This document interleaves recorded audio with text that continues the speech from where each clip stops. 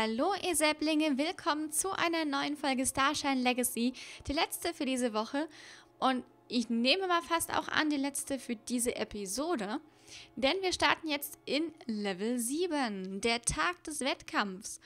Der Tag des Springturniers ist gekommen und Linda hat sich bestens vorbereitet. Alles scheint wieder in bester Ordnung und die Zuschauer lachen und johlen und haben keine Ahnung, dass es an diesem Tag um ein Haar zu einer schrecklichen Tragödie gekommen wäre.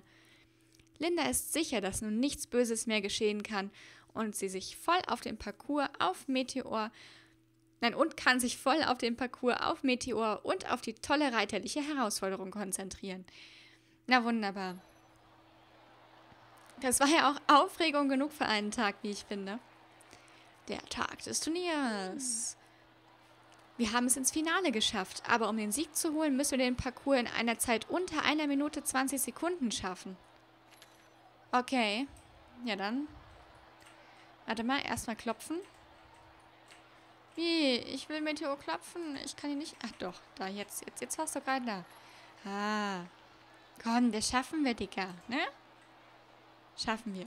So. Und jetzt kommt das Finale. Springe über die Hindernisse, die jeweils mit einem blauen Stern markiert sind. Wenn du die falschen Hindernisse überspringst, bist du draußen. Okay. Wenn du ein Hindernis umwirfst, kommt zu deiner Gesamtzeit jeweils 10 Sekunden Strafzeit hinzu. Du musst über die Hindernisse springen, die mit einem blauen Stern gekennzeichnet sind. Wenn du die Hindernisse in der falschen Reihenfolge nimmst, bist du draußen. Das hast du ja schon mal gesagt. Jetzt geht's los. Okay. Ihr kennt die Regeln. Möge die beste Reiterin gewinnen. Ah, okay. Los geht's. Uh, es sind aber teilweise hohe Hindernisse. Viele auch. Da bin ich ja mal gespannt. Komm, Meteor, das schaffen wir. Na toll. Also den, den, den Wassergraben, den habe ich im Training schon so versaut. Also das ist echt... Ah, da lag noch ein gelbes Sternchen. Okay, cool. Ah, nicht so schnell. Oh Gott. Nein, ich hab... Ah nee, ich sah nicht noch einen Fehler. Es ist ja Wahnsinn hier. Schafft ihr die... Gebt mir mal einen Tipp, wie ihr die, ähm, wie ihr die Wassergräben schafft. Also so gerade eben noch. Hilfe. Acht Sekunden unter Boden aber. Juhu, wir haben es geschafft. Wir haben das Turnier gewonnen, Meteor. Gut gemacht, Linda. Du hast einfach nur Glück gehabt. Jeder in Jorvik weiß, wer in Wahrheit die Beste ist. Und das bin ich. Ja, ja, Sabine wieder. War einfach nicht dein Tag heute, Sabine. Dieses Mal war Linda und Meteor einfach um Längen besser. Wie immer eigentlich. Geh nach Hause, Sabine. Das stimmt. Und außerdem hast du uns und Jorvik heute vor einer schrecklichen Katastrophe bewahrt. Eine echte Glanzleistung. Das haben wir alles Linda zu verdanken. Sie hat alles Sie hat alles genau richtig gemacht. Und das auch noch ganz alleine.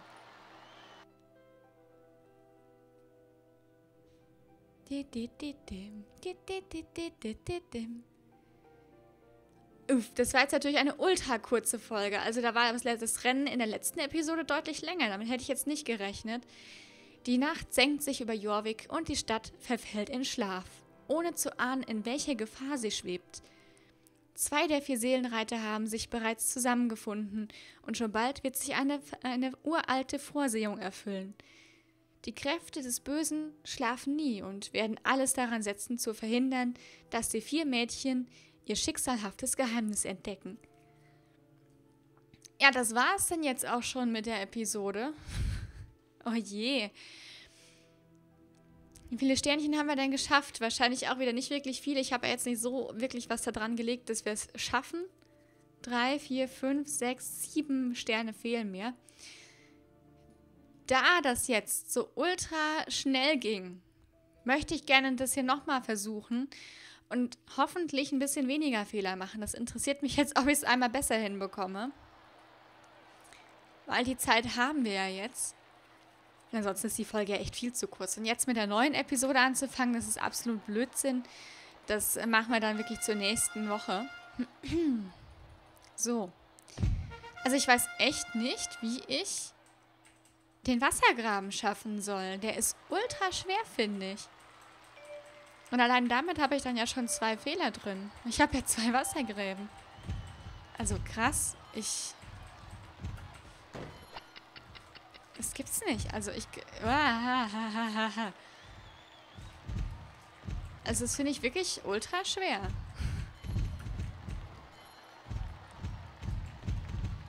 Aber an sich sehr, sehr cool gemacht. Wow.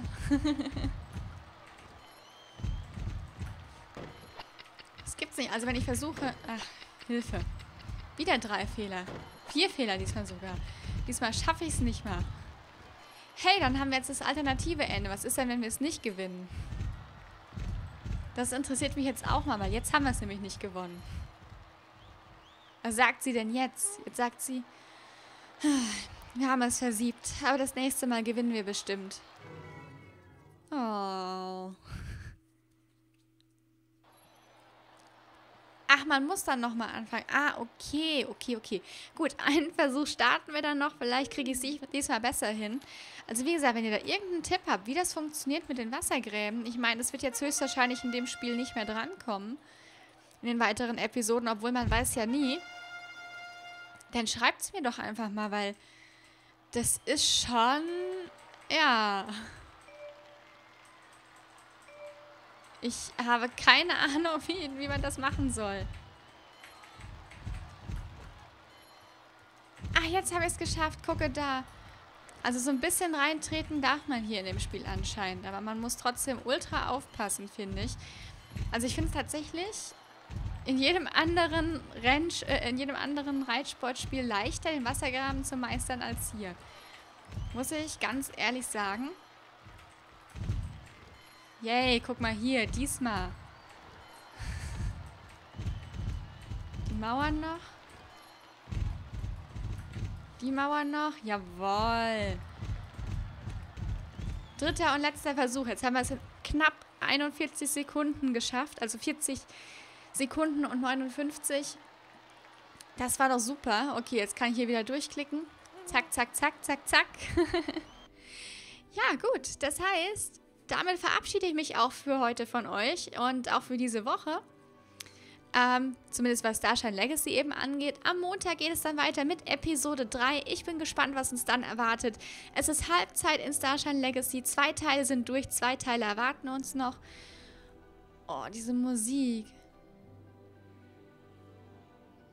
Ah, herrlich. Ich muss sagen, bislang gefällt es mir wirklich gut. Wie gesagt, ich bin sehr gespannt, wie es weitergeht. Ich hoffe, ihr seid auch ab nächster Woche wieder mit von der Partie und habt ein schönes Wochenende. Bis dahin, ihr Lieben. Tschüss.